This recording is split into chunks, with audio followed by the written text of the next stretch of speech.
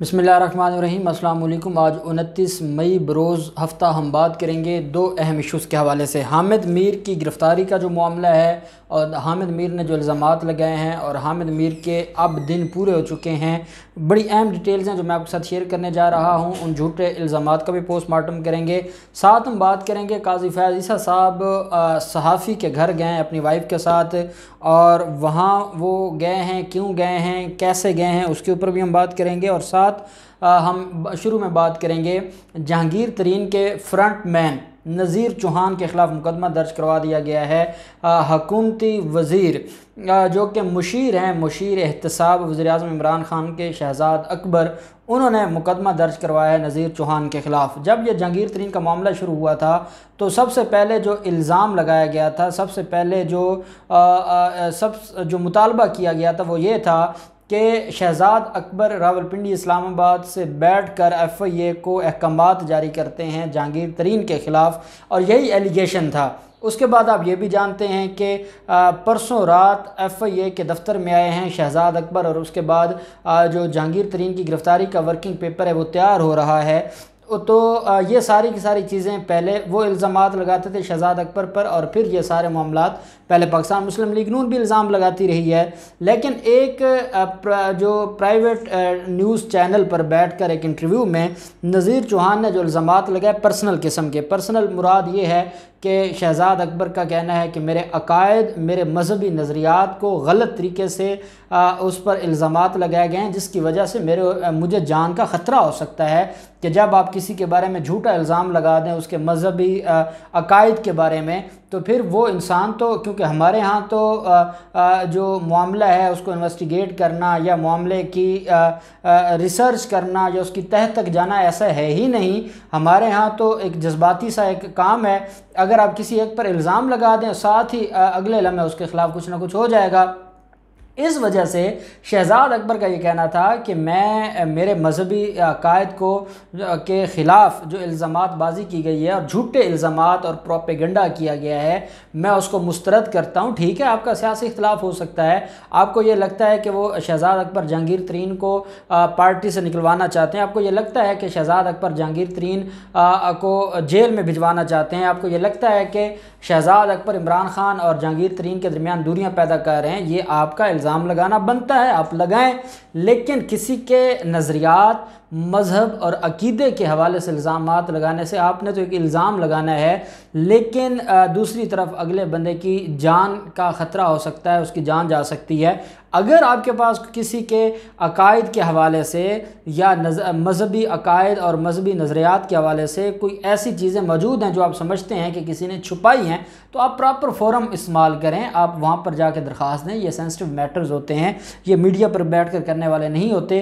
खैर, नज़ीर चौहान के ख़िलाफ़ बीस मई को दरख्वास्त दी थी शहजाद अकबर ने, जिस पर आज मुकदमा दर्ज कर लिया है पुलिस ने। और नज़ीर चौहान की तरफ़ से ये रिस्पॉन्स सामने आया है कि मैं गिरफ़्तारी दे दूँगा, मैं अबूरी ज़मानत नहीं करवाऊँगा। और मैं गिरफ़्तारी दे के सज़ा भुगतूँगा। और हम पहले कहते थे कि जो पार्टी में दराड़ है, वो शहजाद अकबर की वजह से है। और अब चीज़ें खुलकर सामने आ गई हैं कि शहजाद अकबर का जो किरदार है, वो इंतहाई गलत है। और वो सिर्फ़ और सिर्फ़ अपने अनाव की तस्कीन के लिए इमरान खान की जमात का बेड़ा गर्क कह रहे हैं, ये कहना था। नज़ीर चौहान का। दूसरी तरफ़ जो मामला है आप जानते हैं एक यूट्यूबर हैं असद अली और असद अली पर एक हमला हुआ जिसकी हमने भी मजम्मत की कि जो हमला आवर हैं उनके ख़िलाफ़ कार्रवाई होनी चाहिए। अगर वो किसी पर इल्ज़ाम लगाते हैं या अगर वो किसी के ख़िलाफ़ को बात करते हैं तो आपके पास एक प्रॉपर फोरम है। आप वहाँ जाएँ, वहाँ दरख्वास्त दें और इल्ज़ाम को साबित करें।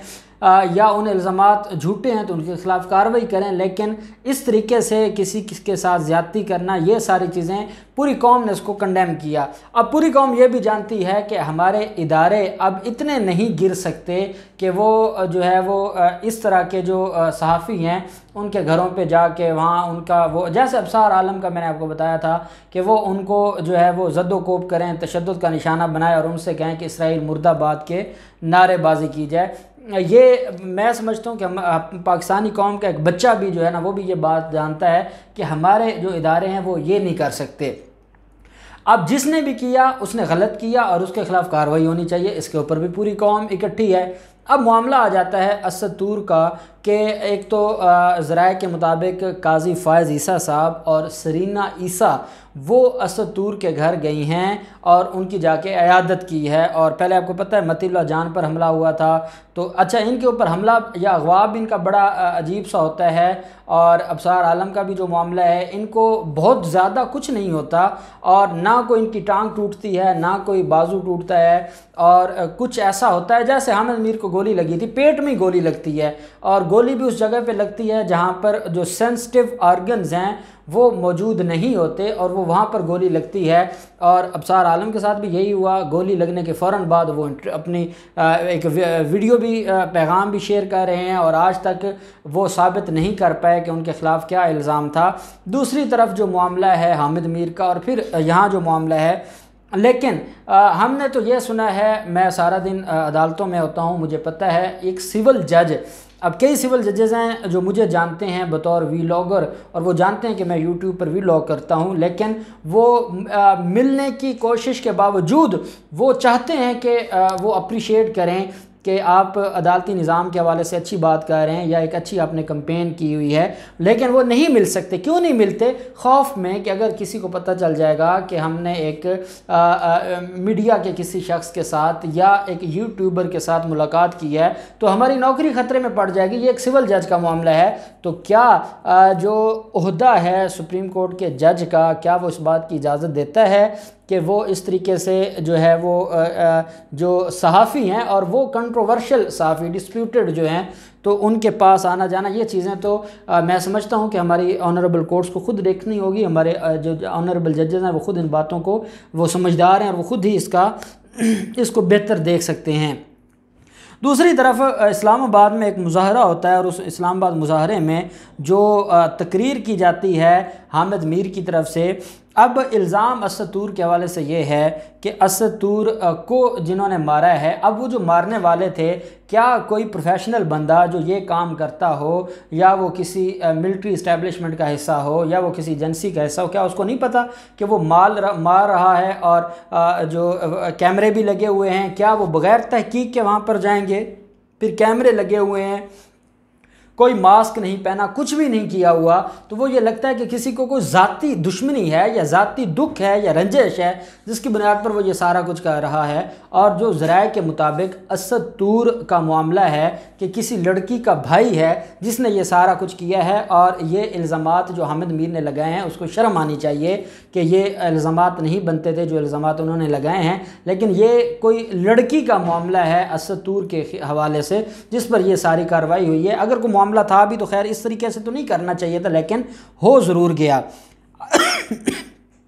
अब हामिद मीर ने जो है वो आ, आ, जो इल्ज़ाम लगाते हुए कहा है कि अगर आइंदा किसी साफ़ी पर तशद किया या कोई ऐसा वाक़ पेश आया तो वो घर में घुस तो नहीं सकते क्योंकि उनके पास टैंक और बंदूकें नहीं हैं मगर वो घर के अंदर की बातें ज़रूर सामने ले आएँगे। आप जानते हैं इनके पास जो है वो जैसे सेठी थी उसके पास भी एक चिड़िया थी तो इनके पास भी बड़ी चिड़ियाँ हैं और ये अंदर की बातें जो है वो उगलवा सकते हैं जो बड़े लोग हैं उनके साथ तल्लक़ात बनवा के।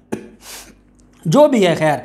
अब साथ वो कहते हैं कि इतने बहादुर हो तो सीना तान कर कहो कि मैं इसके घर में गुस्सा हूँ, लेकिन तुम इतने बुजदिल हो।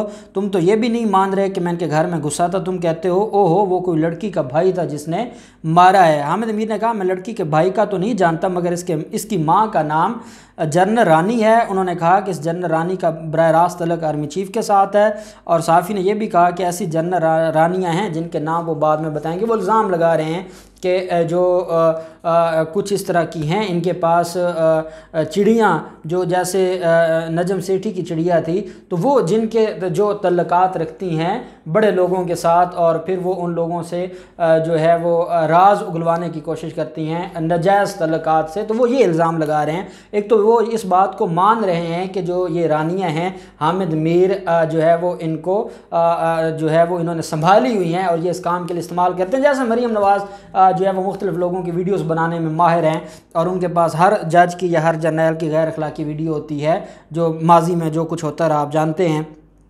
साथ उन्होंने ये भी कहा कि सियासी पनाह लेने का इल्ज़ाम बेबुनियाद है सियासी सियासी पनाह नहीं ली और साथ जो है वो जजेस की बीवियों के वाले सॉरी, जर्नैलों की बीवियों के हवाले से गलत लैंग्वेज इस्तेमाल किस तरह से तो मैं नहीं समझता कि कोई भी, आपको अगर जनरल बाजवा से कोई तकलीफ़ है, आपको फैज़ हमीद से कोई तकलीफ़ है और आप उनकी घर की औरतों के ऊपर इल्ज़ाम लगाएँ, आपके अंदर कोई थोड़ी सी तो कोई शर्म और गैरत नामी कोई चीज़ होनी चाहिए, क्या कोई भी मर्द गैरतमंद मर्द किसी की औरतों को भी इस तरीके से बात करता है। आप अपनी बात करें आपकी आ, कभी किसी औरत के ख़िलाफ़ कभी आपकी वाइफ है आपके बच्चे हैं कभी ने कभी किसी ने उनको आ, जो है वो मौजू गुफ्तु बनाया है कोई नहीं बनाता तो आपको भी थोड़ा सा हया करना चाहिए था। खैर जो इल्ज़ाम ऐसे ऐसे हैं कि वो मैं आपको आपने वो वीडियो देखी होगी वो आ, उनको दोहराया नहीं जा सकता। लेकिन आज सोशल मीडिया पर जो है वो हामिद मीर की गिरफ़्तारी के हवाले से ट्रेंड चल रहा है और ज़रा का ये कहना है कि हामिद मीर की अब मोहलत ख़त्म हो गई है और अब बड़ी कार्रवाई, क्योंकि अब भी अगर कार्रवाई नहीं होती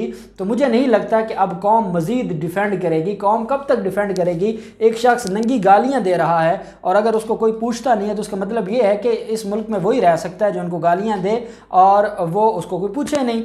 ये तो फिर कोई तरीक़ाकार ना हुआ। अब हम उम्मीद करते हैं ज़रा की खबर ये है कि हामिद मीर की मोहलत ख़त्म हो चुकी है और अब उसके ख़िलाफ़ जो मुकदमा है वो आने वाला है। लेकिन हम साथ मुतालबा भी करते हैं कि जिस तरीके से गालम गलूच या थर्ड क्लास और थर्ड लेवल की लैंग्वेज इस्तेमाल की आमिद मीर ने, कोई आम आदमी भी नहीं ऐसी लैंग्वेज इस्तेमाल कर सकता। ना सिर्फ़ उसके ऊपर बैन होना चाहिए टीवी पर आने का, और बल्कि उसको जो है वो कड़ी से कड़ी सज़ा मिलनी चाहिए, और ऐसे लोगों को जो है वो ऐसी मिसाली सज़ा मिलनी चाहिए कि वो कल जो है वो रियासत या रियाती इदारों के ख़िलाफ़ कोई बात ना करें। देखते हैं क्या होता है। जो भी डिटेल्स होंगी आपके साथ शेयर करते रहेंगे। अल्लाह पाक पाकिस्तान का हमें नासिर हो। बहुत शुक्रिया। अल्लाह हाफिज़। पाकिस्तान जिंदाबाद।